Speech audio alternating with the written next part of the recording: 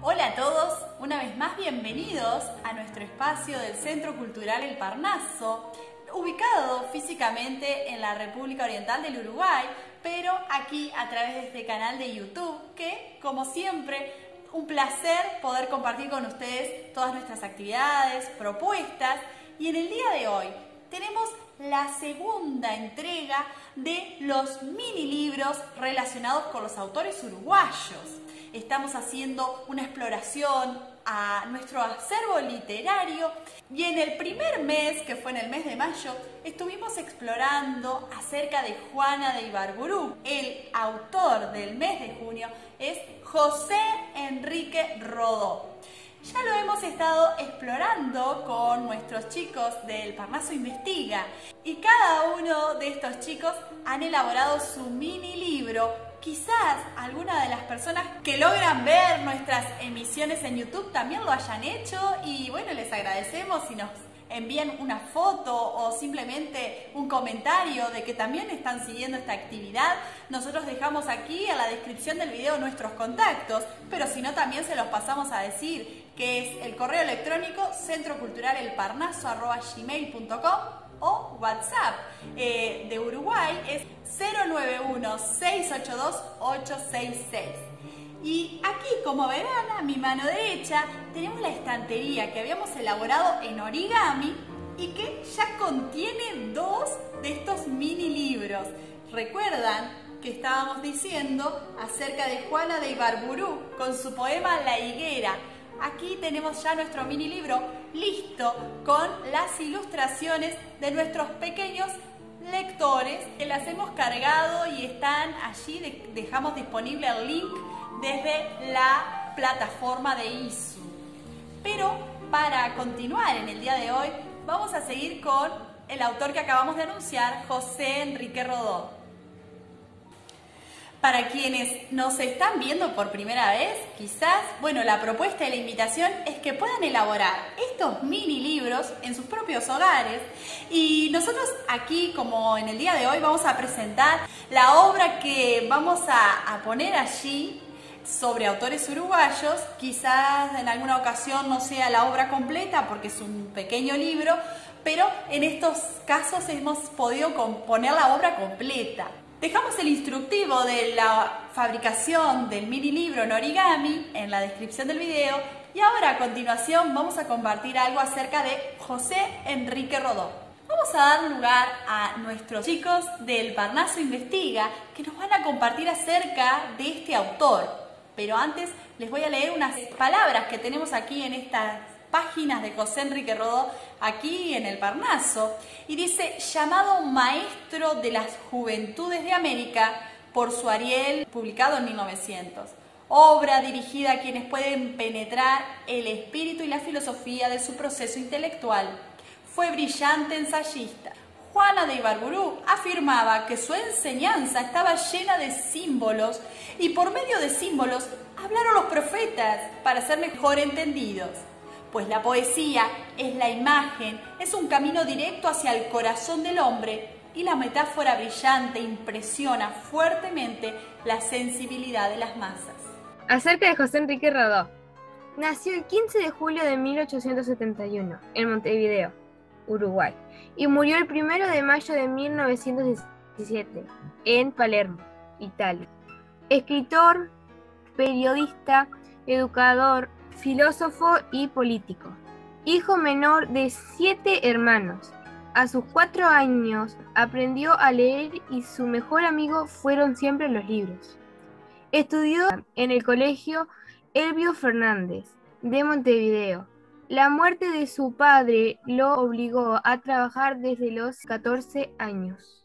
Representante de los escritores uruguayos de la generación del 1900.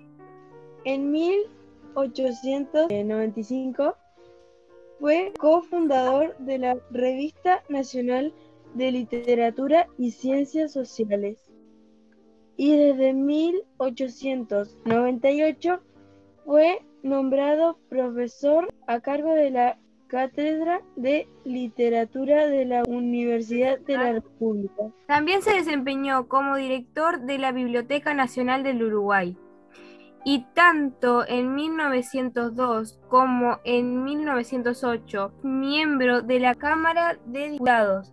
Se presenta como ensayista, crítico literario y periodista para varias revistas y diarios, tanto a nivel nacional como internacional. En 1900 publica Ariel, obra inspirada en La Tempestad de William Shakespeare, con la cual alcanza un gran reconocimiento a nivel internacional.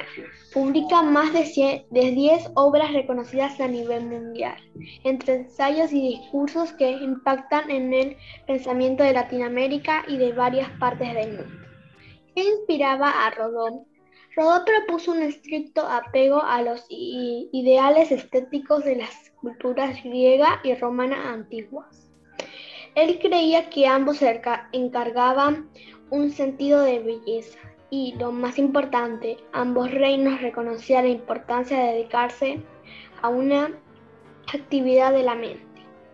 El arte es entonces una forma de aprendizaje de que encuentra y enriquece el espíritu y niega el utilitarismo.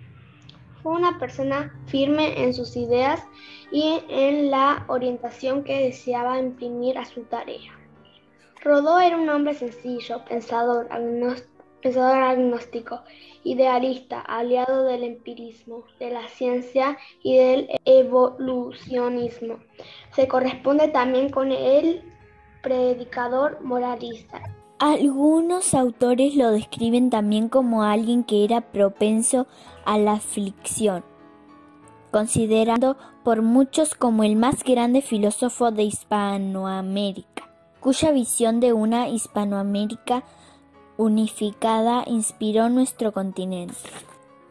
Rodó proponía el rescate de la cultura latinoamericana en toda su unidad y en su conjunto. En su estilo literario modernista, manierista y esteticista fue el creador del arielismo, corriente ideológica basada en un aprecio de la tradición grecolatina. Sus obras expresan el malestar finisecular hispanoamericano, con un estilo refinado y poético típico del modernismo, preocupado por los patrones de la vida humana y por la conducta tanto personal como política. Rodó sostuvo que el autoescrutinio individual es la base de la acción ilustrada por el bien de todos. Agradecemos a Camila, a Victoria, a Joaquina y a Vitia que nos siguen cada lunes a las 5 y media en el espacio de lectura y luego los miércoles a las 5 y media de Uruguay de la tarde, también en el Parnaso Investiga. Todos son muy bienvenidos a participar de estas propuestas. Pero vamos a leer ahora la parábola de José Enrique Rodó mirando jugar a un niño.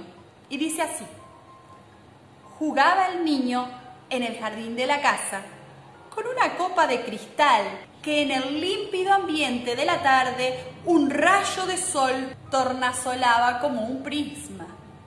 Manteniéndola no muy firme en una mano, traía en la otra un junco con el que golpeaba acompasadamente la copa. Después de cada toque, inclinando la graciosa cabeza, quedaba atento mientras las ondas sonoras como nacidas de vibrante trino de pájaro, se desprendían del herido cristal y agonizaban suavemente en los aires. Prolongó así su improvisada música hasta que en un arranque de volubilidad cambió el motivo de su juego. Se inclinó a tierra, recogió en el hueco de ambas manos la arena limpia del sendero y la fue vertiendo en la copa hasta llenarla. Terminada esta obra, alisó por primor la arena desigual de los bordes. Pasó mucho tiempo sin que quisiera volver a arrancar al cristal su fresca resonancia.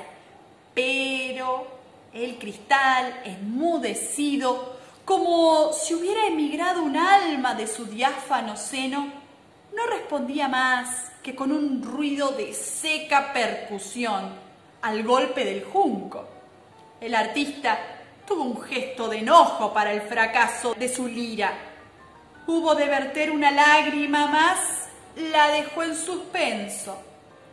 Miró como indeciso a su alrededor.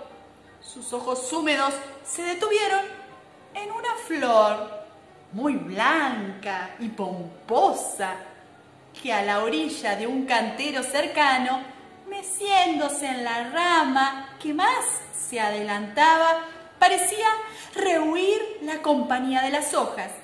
El niño se dirigió sonriendo a la flor pugnó por alcanzar hasta ella y aprisionándola con la complicidad del viento que hizo abatirse por un instante la rama cuando la hubo hecha suya, la colocó graciosamente en la copa de cristal.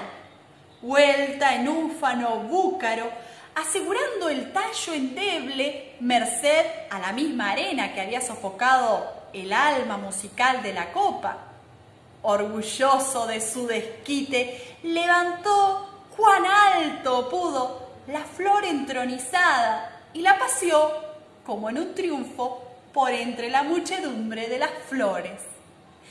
Y hasta aquí llega esta parábola maravillosa de José Enrique Rodó, que los invitamos a todos a poder escribir allí en su mini libro y hacer las ilustraciones que ustedes crean pertinentes para también compartirnos con nosotros e incorporar en nuestro mini libro que tenemos aquí impreso en el Parnaso.